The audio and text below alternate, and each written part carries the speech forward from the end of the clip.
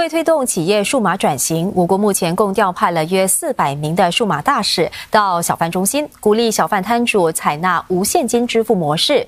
人数呢比上个星期多了一倍。目前全岛一百一十二个小贩中心里，超过一半的宣导工作已经完成。数码大使走入小贩中心，向摊主解释如何采纳无现金支付系统，并聆听小贩的顾虑。那些年长一辈的。他们就比较难，有一些没有那些 smartphone，有一些就不怕不会用或者不识字，啊，也有一定它的困难。但是大致上的小贩都可以接受。通讯及新闻部长易华文表示，数码大使计划取得显著进展，令人鼓舞。Whether you're a hawker.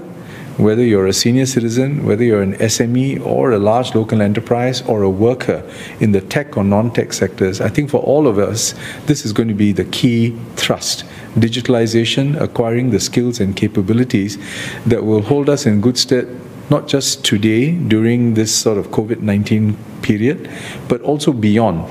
我国希望这个月底前招聘一千名数码大使，完成在全岛一百一十二个小分中心和施巴沙的宣导工作。